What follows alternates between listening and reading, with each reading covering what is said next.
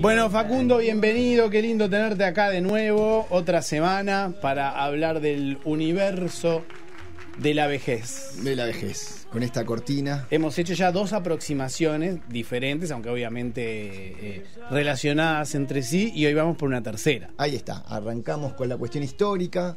¿Qué pasó? Que antes la vejez era tan endiosada y vimos Sí. si era tan así o no. Este, y qué pasaba hoy que tenemos esta cuestión, este problema con, con el envejecimiento. Después, el martes pasado vimos la cuestión médica, esto de eh, aumentar la expectativa de vida, el límite máximo de la vida, si se iba a correr o no, y la expectativa de salud. Sí. Este, y hoy nos toca esto de la dimensión psicosocial de, de- de la vejez y del envejecimiento. Eh, Ahí me da la sensación de que eh, eh, interviene mucho algún concepto que vos manejaste, me parece que la primera columna, sobre eh, la oportunidad que tenía Uruguay de ser una suerte de laboratorio, ¿no? Sobre algo que va a ocurrir en, gen- en líneas generales en todo el mundo, pero que a nosotros ya nos está ocurriendo. Entonces, la, la posibilidad de ser un laboratorio en este sentido también. exactamente, exactamente.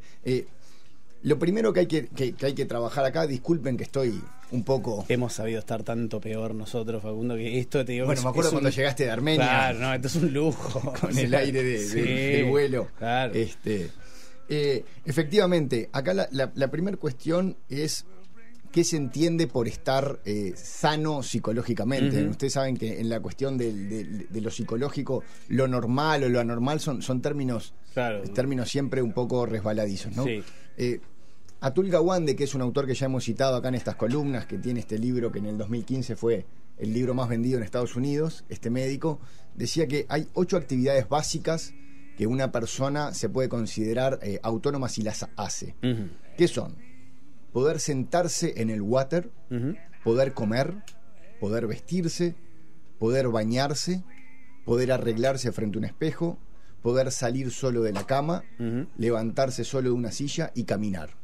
Bien. Una persona que hace esto es autónoma, que no significa que, que es necesariamente independiente. Para Claro. ser, además de autónomo, independiente, él dice que hay que hacer ocho actividades más, que son poder hacer compras, poder prepararse la comida, poder limpiar la casa, lavar la ropa, gestionarse la medicación, llamar por teléfono, trasladarse más allá de caminar, trasladarse en un autobús o en un avión este, o en un tren y gestionar las finanzas.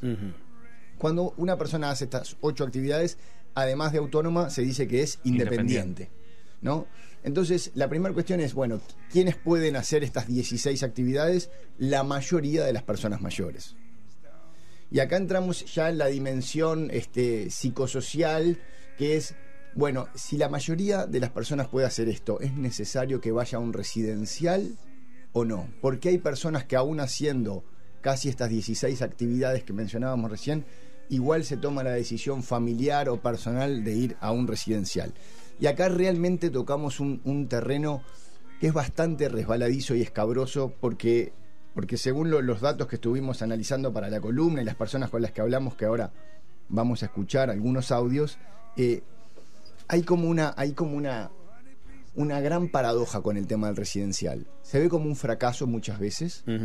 Pero al mismo tiempo todas las estadísticas dicen que la mayoría de los malos tratos con, la- con las personas mayores ocurren al interno de las familias. O sea, más en, en los hogares, por decirlo de algún modo, que en estos residenciales. Exactamente. O sea, cuando hablamos de malos tratos, estamos hablando de violencia física, pero también de violencia psicológica. Psicológica. Estamos hablando de mal manejo de las finanzas, que no, deja que, abuelo, que yo te voy a buscar la jubilación. Y, y hay toda una cuestión ahí vinculada al maltrato que ocurre mucho en el seno familiar. En ese mismo seno familiar, del cual si se va, se siente que también hubo una especie de fracaso. Este, entonces ahí tenemos un problema que es bastante resbaladizo, que es el rol de la familia eh, en la vejez.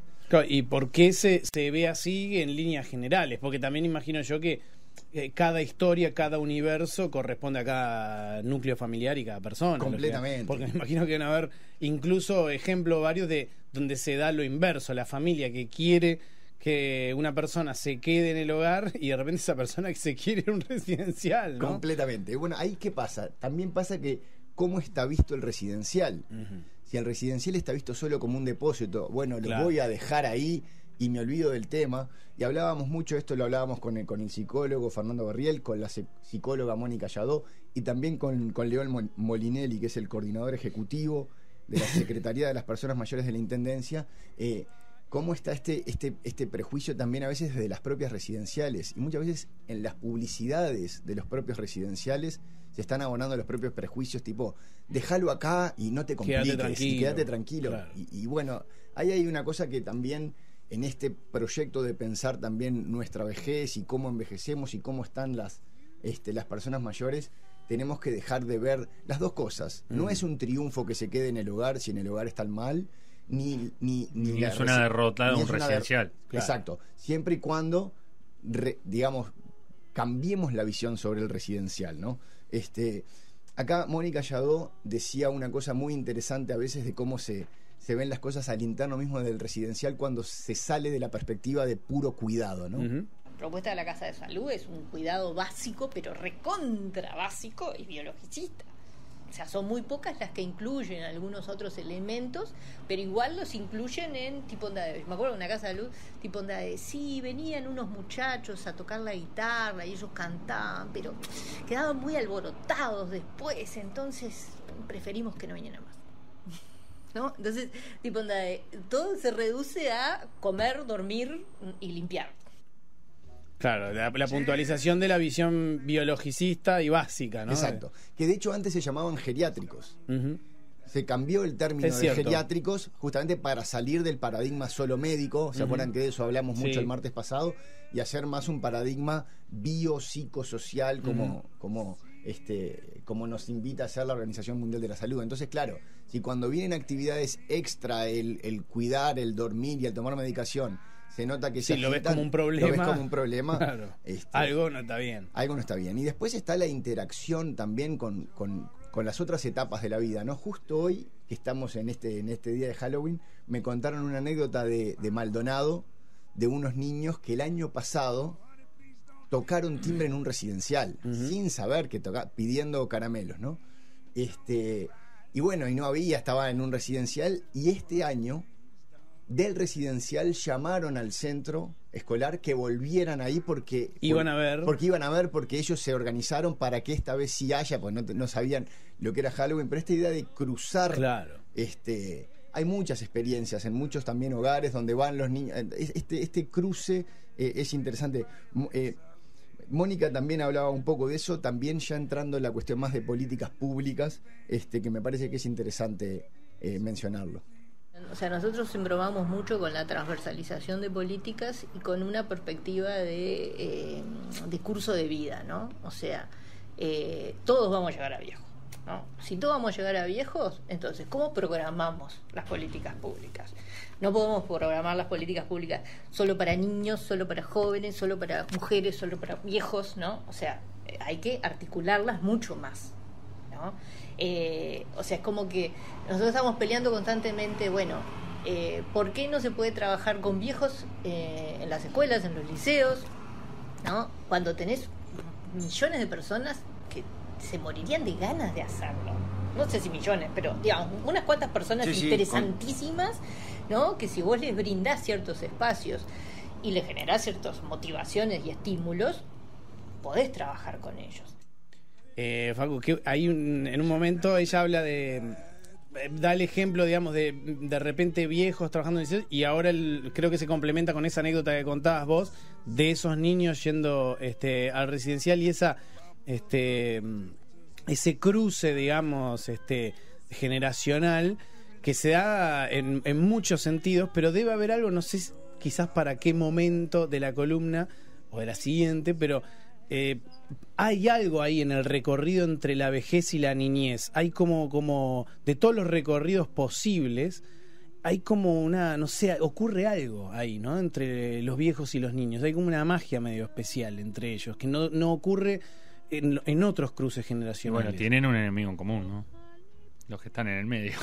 Bueno, sí, está bien. Un enemigo. Sí, no claro, tienen un enemigo en común. Claro, claro. Viste que hay gente que dice que la mejor forma de acercarse a otro es encontrando un enemigo en común. Mira, justo no, no, lo trajimos para hoy, quizás el martes que viene podamos este, escuchar algo, pero yo hablaba con Luis Barbeito, con este científico, que me hablaba de la idea del clan. Este, y cómo eh, cuando el hecho de que conviva el abuelo y el niño dentro de lo que es el clan, que sería el prototipo de lo que después fue la familia, eh, tiene mucho que ver con, con protección y transmisión de saber. Hay un cruce ahí sobre la experiencia de vida que le puede dar un viejo a un niño que, que siempre funciona y por eso hay tantos casos de nietos y abuelos que se genera una química especial que traspasa también los Claro, padres. Claro, pero incluso más allá de, de- de, mm, del vínculo filial, ¿no? O sea, una vez se ve que se genera como una química muy rápida entre gente que está en la vejez, eh, hombres y mujeres en la vejez y niños y niñas, que se genera ahí como, como algo casi inmediata la química. Hay una, ¿no? yo creo que en muchos casos hay una comunicación a veces más fluida, porque no es menor que el, el- el- me parece que el viejo o el abuelo tiene como está descomprimido de un montón de tareas. sí. Eh, El, el encargado de que salga bueno, entre comillas, el niño, Sí, es no la generación de los padres. Claro, Sí. Y, eh, y el viejo juega otro rol. Juega como los tíos. No hay presión. No tiene presión, Están digamos. como descargados de mochilas. Entonces Los niños pueden manejar, escuchar con otra naturalidad las diabluras, las cosas, ver- verlas desde otro lugar que no las puede ver o las puede ver, pero tienen otra carga para, pa- para el padre, la madre o lo- lo- los que están directamente Sí. involucrados. Capaz que es fuerte, ¿no? Pero es como si fuesen los dos extremos menos contaminados de esas cargas. Unos porque todavía no se pusieron las mochilas y otros porque las están dejando. Seguro. ¿No? Seguro. Eh, bueno, ahí, digamos, eh, con respecto al tema de, de- de los niños y, y los viejos, una cosa interesante que le hablábamos con, con León Molinelli, ahora vamos a volver un segundo a las residencias, pero vamos a esto de las políticas públicas abarcativas y, que, y que tengan que ver con todo el transcurso de la vida, ¿no? Recuerden ya desde la primera columna, envejecemos desde el día que nacemos. La vejez es solo la última etapa de una cosa que nos pasa durante Todo el tiempo. Todo, todo el tiempo nos pasa. Y León Molinelli me contaba que un, un problema de la ciudad grande son las plazas. Porque los bancos de las plazas, tal cual están pensados, son bajos. Entonces una persona arriba de 80 años, pararse, volver a alzarse en el banco es muy complicado. Claro. Entonces habría que subir los bancos varios centímetros para ellos. Pero si lo subís varios centímetros, ese banco deja de servir para los niños. Ujú. ¿no? Entonces, Ah, que, el niño se trepa. los niños pueden trepar, pero digo, en esta idea de, de que se hablaba mucho de, de- Me acuerdo que lo conversamos, Gonzalo. Sí, no, sí. Yo no me acuerdo si al aire o fuera, pero. Fuera del aire, el tema del- de- del barrio para... Exacto, de para no los- generar guetos, que sea, bueno, esta es la plaza Claro. para los viejos, Claro. pero y esta es la plaza para los niños, que sea. Bueno, algo de eso decía ella, ¿no? También este, de, de- de no La- generar la- lo esos- transversal, pero Claro, cada vez más apunta. Ahora yo estaba pensando mientras escuchaba, cuando se hablaba de, ese, de, de pensar actividades que nucleen, ¿no? Y por ejemplo, uno piensa en, en- en personas retiradas, adultos mayores, y decir, bueno, actividades que pueden estar vinculadas, actividades, yo qué sé, solidarias, ONGs, y en esos universos, capaz que estoy hablando así rápido y no, pero incluso ahí como que se arman guetos. Porque vos pensás en las damas rosadas o estas. Y son todas señoras, muchas señoras a veces mayores, o que no, no hay mucha presencia masculina. Y después pensás en un techo, eh, y un techo son, son todos son todos guachos. Son todos gurises. Vos- Vos nunca ves una- un adulto. No ves una persona. Yo nunca vi en una esquina parado con ellos un tipo de, de mi edad. Parece que todos son tienen 20 años y, cuando cumplen 21 se van de un techo y se entonces claro no no cada vez No hay más cruces. los espacios están cada vez más generando esa especie de gueto con cortes sociales con cortes de género muchas veces a, a su vez pero parece que los cortes etarios es una cosa que se está dando también en, en- en- muchas actividades Seguro. entonces ahí es cuando empieza a existir este diálogo tan natural los lugares, por ejemplo, un lugar donde vos te encontrabas con un veterano, los boliches de los clubes, los bares. Y los bares están desapareciendo poco a poco. Esos bares donde vos podías, eh, capaz, ver y tener esos personajes del barrio. Eh, como que cada vez más se, se van desapareciendo esa- esas cosas. Y no sé qué se- vamos a escuchar sobre políticas públicas al respecto. Pero hay mucho trabajo, más que antes quizás por hacer. Sí. eh, no sé si tendría una visión tan, tan pesimista. o No, sea, yo no, no, no es de pesimista. Digo que me da esa sensación de que Nos como co- que estamos a- todos medio apartados. A nosotros, o sea, en, en las entrevistas para esta columna nos decían que hay, hay acciones concretas, por ejemplo, de personas mayores que van a escuelas a contar cómo era la escuela cuando ellos iban. Y acá también siempre lo macro y lo micro. Nos decían, hay cantidad de familias donde la gente no tiene la menor idea de la historia. Del abuelo, de Claro. dónde vienen, de por qué es así, a veces cruzadas por la guerra o por la dictadura, por la inmigración, pero digo, esto, este- esta cuestión de experiencia vivida, de abarcar generaciones, tiene mucho que ver con, con construir relato, Claro. no solo desde las políticas públicas, también desde lo micro de decir, ¿sabés quiénes eran? Claro, quiénes eran Sí. tus abuelos o quiénes eran tus bisabuelos Claro. o por qué sos de acá o de allá o del, eh, del litoral o de lo que sea, ¿no? Con respecto a lo de las políticas públicas, eh, Leonel Molinelli nos, nos decía, nos decía lo siguiente. Repensar este, la, ciudad también significa repensar los espacios comunes, ¿no? repensar los espacios comunes. Eh, los bancos que nosotros tenemos en las plazas son bancos bajitos, ¿no? que a una persona de 90 años le cuesta mucho levantarse. Entonces tenemos que pensar también en bancos donde tengamos este, donde apoyarnos, donde sean un poco más altos. Buenos Aires tiene una experiencia respecto a eso con material reciclado que este, eh, ha hecho un trabajo de, en determinadas plazas este, introducir otro tipo otro tipo de, bancos este, y, de, y de equipo de gimnasia donde sea mucho más fácil para, para viejos y viejas poder este, eh, incorporarse ¿no? compartir y bueno el desafío es, es inmenso para, para la ciudad ¿no? hay mil cosas mil cosas para hacer este, y una de las cosas que yo decía bueno estamos empezando por algo el tema de las veredas es un tema prioritario prioritario para esta población el tema del transporte público es un tema prioritario para esta población El tema de las veredas, decía, ¿no? Sí, sí, porque la Intendencia de Montevideo, nosotros eh, hablamos de Montevideo, pero esto después se extiende a, todo, a todo el país. Este, Montevideo en particular eh, está en un proyecto de ciudad amigable con las personas mayores. Tiene que cumplir con un cierto protocolo para que sea declarada, pero está, digamos, como en la lista. En el camino de eso. En el camino de eso. Y dentro de lo que fue el relevamiento de datos, eh, hay que mejorar las veredas de toda la ciudad, de todos los municipios, porque es un tema muy importante Claro. para las personas Es un mayores. desastre. Sí, Y sí. bueno, es un entonces- desastre, no, sí, no, sí. pero no es amigable para nadie. Y nosotros que nos movemos, creo que en un ambiente mayoritariamente en una zona privilegiada. Hay partes de Montevideo que no, no hay, no hay, no hay vereda de calle. Exacto. El Estamos tema, lo mismo. El, el tema vereda, el tema calle, después el tema transporte en un doble sentido, de que haya buen flujo de transporte y también Mm. de que, de que, de que el ómnibus no tenga escalones tan, Claro, tan altos, que pueda haber una rampa en alguna de las puertas. eh, en, la- en alguna de las puertas del Sí. autobús y después lo otro es esto de las plazas, ¿no? Plazas más inclusivas donde puedan, vol- volvemos a lo mismo, convivir este, personas mayores con niños y, y jóvenes. ¿no? Si les parece, para, para volver a entrar en tema, vamos a, a escuchar a Fernando Berriel, al psicólogo que también forma parte del Centro Interdisciplinario de Estudios sobre el Envejecimiento, que nos resumía cómo siguen conviviendo hoy con respecto a la vejez eh, los dos paradigmas de los que hablamos en la primera columna. Lo que encontramos nosotros es que a diferencia de antes, de ponerle de los años 80, principios de los 90, ahora es muy clara la coexistencia como de dos paradigmas en relación al envejecimiento, o dos modelos del envejecimiento. Uno que es ese tradicional, donde está esto de la pasividad, la enfermedad, la fragilidad, la infantilización. Y otro emergente en donde hay valores a veces inversos, como puede ser la actividad, la, la salud, ya no la... Porque un prejuicio muy común es que la, la vejez conllevaba la tristeza de la depresión, ¿no? Y bueno, la alegría, la participación. Y la coexistencia de esos dos paradigmas trae conflictos nuevos, pero, por lo- pero también abre un poco más el abanico de modelos ¿no? disponibles. Hablando de esto con Fernando, eh, dimos con una cosa muy interesante que él me comentaba, este, digamos, desde la configuración psicológica nuestra. Decía que con el tema de, de- de la cuestión negativa contra la vejez, cuando nosotros insultamos a un viejo por la calle, es en el único, eh, eh, es el único insulto que es autorreferencial también.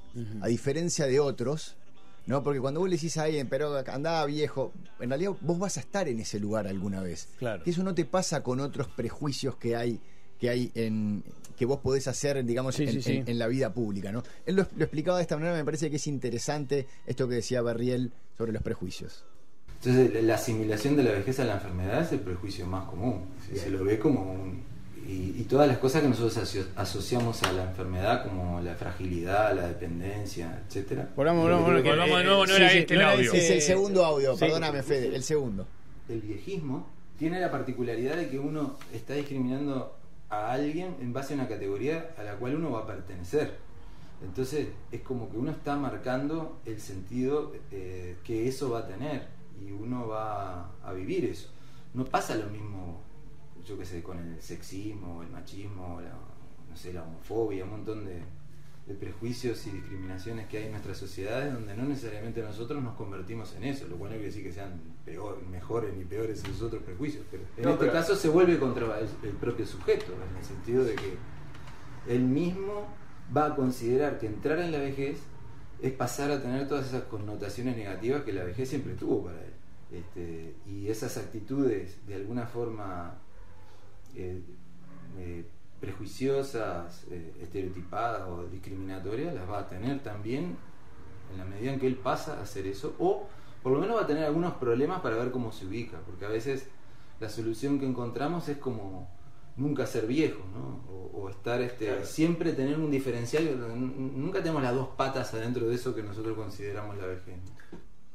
Claro, es tal cual, o sea, más allá de, de- de- él lo dice, no hay un juicio de valor, no es que los haga mejores o peores los prejuicios, pero este sin duda pareciera ser de los más irracionales posibles, porque contra el propio sujeto es algo que es una condición que va a tener en una cuestión de tiempo nomás. Y eso explica por qué muchas veces después, cuando las personas llegan a eso que se llama vejez, quieren salirse de ahí, porque durante mucho tiempo alimentaron ese, ese lo que él llama el viejismo, que es un término que viene. Bueno, la frase viejos son los trapos. Claro. Este, que creo que hay todo, toda una, una camada de gente, porque hay mucha gente pensando este tema de, de la vejez, que está como. eh, eh, está como muy atenta a todos estos detalles que hacen como revalorizar y, y cambiar la perspectiva. Y también mucho esto, ¿no? Nosotros vamos a estar ahí, estamos pensando por los viejos de hoy y por los que vamos a ser viejos Claro. mañana, y como de vuelta esto de expectativa de vida y de proceso de vida que, que explicaba, que explicaba Mónica, ¿no? Volviendo un segundo al tema de los residenciales y esto que decíamos de esta, de esta cuestión delicada entre, entre verlo como un, un fracaso, pero al mismo tiempo eh, eh, muchas veces en las familias están los problemas, ¿no? Creo que acá hay dos temas que, con los que podemos entrar ya en la parte final de la columna, que es ¿qué necesita un residencial para, para estar apto para recibir personas mayores? Y segundo, eh, ¿cuál es el problema de, de la soledad? Que es un problema muy presente en la vejez. Son dos temas distintos, pero, pero vamos a, a hablar de los dos. Según datos del observador, en Uruguay hay 1.116 residenciales en todo el país. Estos, son, estos están registrados, lo cual no significa que estén habilitados. ¿Qué es lo que Mides? ¿Se acuerdan que lo hablamos en la primera Sí, columna? que acá hay una cosa entre el MIDES y el Ministerio de Salud Pública. Ahí está. Este, porque es una cuestión sociosanitaria. Pero los criterios son la higiene, la accesibilidad, la iluminación, la calefacción, al menos 5 metros cuadrados por residente, que el piso del residencial sea un piso lavable, está prohibido que haya catres, están prohibidas las cuchetas y están prohibidas las camas marineras. Eh, tiene que haber un baño al menos cada 10 residentes o cada 5 si, si hay incontinencia, un enfermero, enfermero perdón, cada 20 pacientes o cada 10 en algunos casos este, más complejos y tiene que recibir al menos una visita al año sin previo aviso del Ministerio de Salud Pública o del MIDES como para volver a, a validarlo. Y bueno, acá de vuelta, lo que hablábamos un poco con, con Mónica, ¿no? Eh, el residencial no es un depósito, es un lugar que tiene que tener actividad, que tiene que estar siempre en este paradigma biopsicosocial, de que haya actividades, de que se planten, de que visiten niños, de que vayan, de que salgan. O sea que según estas disposiciones no, me, me parece que nos muestran que estamos un poco lejos todavía de Bueno, de por esa lo visión. pronto no, no, no es una exigencia. Claro. Claro, no es, No es una exigencia. No es una exigencia. ¿no? Las exigencias son quizás muy básicas, pero bueno, cuando recorres algunos residenciales te das cuenta que hay residenciales que a duras penas a veces llegan a esto, ¿no? Seguro. Entonces, porque otra vez acá empezamos, eh, la, la- yo me acordaba enseguida o pensaba en el paralelismo que hacíamos niños y viejos, lo que pasa con los jardines, Claro. con los jardines infantes, donde vos también tenés un montón, y tenés, es como, como todo, está atravesado por una cuestión económica. Sí, ta- ta- Es- ta- totalmente. También digamos que cuando un residencial funciona bien, digo, no es noticia De, Claro. Nos enteramos solo cuando, como nos enteramos en, en- en julio de este año, ¿les acuerdan? Es lo que pasó Cerro Largo, pero era una cosa tétrica, espantosa. cosa- sí, claro. sí, sí, este, Algo eh, terrible, digamos, ¿no? Sí, pero es verdad, no, no sale cuando algo En funciona muy bien. el los residenciales si funcionan bien, si las Mm. familias están implicadas, si los, si las personas que están ahí son activas y digamos se empoderan del lugar, vos ni te enterás, Sí. funciona y está, Sí, es y está fantástico, ¿no? Este, pero de vuelta, eh, el no pensarlo como depósito, Mónica, Mónica Yadó este, volvía a insistir sobre el asunto y nos decía lo siguiente. El residencial tal cual está hoy pensado, por más lujos que tenga el residencial, sigue pensado como depósito, digamos, en la concepción de los que lo hacen y en la concepción de los que lo usan, ¿no? Por esto de eh, la culpa. ¿no? Porque claro, es vínculo familiar. Entonces, bueno, vos podés, en, las, en las familias hay muchas historias. Hay viejos que son ellos, ellos mismos dicen, ta, me voy al residencial porque ta, estoy mejor en el residencial, ¿no? A veces pasa, ¿no? Que en la pareja uno está muy, muy, muy mal, entonces se, internan los dos, ¿no? Este, porque claro, no tiene capacidad para, para cuidarlo en la casa. Hay gente que lo hace, pero también la- el tema es la propuesta de si el residencial es un lugar socializador o es un lugar solamente para cuidar. Fede, y te pido de, de juntar esto que escuchamos recién de Mónica Yadó con lo que decía Fernando, que lo, que da- lo dejamos cortado, que era el primer, el primer audio de Fernando Barriel. Entonces, la asimilación de la vejez a la enfermedad es el prejuicio más común. Se, lo ve como un. Y, y todas las cosas que nosotros aso- asociamos a la enfermedad, como la fragilidad, la dependencia, etcétera, lo que tiene que ver con la sexualidad, en general nos perturba bastante cómo se aborda el tema de la sexualidad en la vejez. Es, bueno, veamos lo que son las instituciones de larga estadía para personas mayores, es como que no tienen, tienen totalmente anulada la posibilidad de pensar qué pasa con la sexualidad o cómo la gente puede ejercer el derecho a su sexualidad en esos contextos, ¿no? Yo creo que sí. Y lo otro es como esta, esto de la pasividad. La pasividad, como que las personas mayores son objeto del pensamiento, de las acciones, de las intervenciones, de la investigación, pero no son protagonistas de, de ningún proceso. Claro, hay una matriz cultural de la que tenemos que, que trabajar mucho para sacarnos. Ahora me, me trajo obviamente a la mente el concepto de pasivo, ¿no? Exacto. Es una cosa. Exacto. Bueno, lo que pasa es que ahí responde a, a la economía. Lógico, sí, sí. está Únicamente claro. el- la Pero matriz es económica. Claro, pero y eh, está bien, hay gente que no está trabajando en activo, es lógico. Claro. Pero igual se cargó, digamos, o sea, ese concepto, ¿no? Y Viene bueno, con lo que pasa que es cuando empezamos, creo que tiene que ver Una cuando, carga semántica que trasciende. lo cuando empezamos a hablar esto, que el origen podía tener que ver toda esta, esta mala prensa o mala imagen que tenemos de la vejez en, el, en el, el- la irrupción del capitalismo y la necesidad Sí, sí. de producir y la revolución industrial. Ser productivos. y claro. que todo se define a partir de la productividad o no que tengas. Total. Entonces, producís, servís. No producís, sos un pasivo, ergo sos un gasto, porque en- encima no solo no estás produciendo, sino que además estás gastando lo que producen otros. Exacto. Entonces hay toda una connotación negativa porque, bueno, lo, lo- la capaz que algún marxista lo podría decir claramente cuando tenemos una, una infraestructura Una ahí. superestructura ideológica. Claro, el, el- el- el capitalismo te baña todo lo demás, ¿no? Está bañado todo, lo- todo lo otro con, con esto.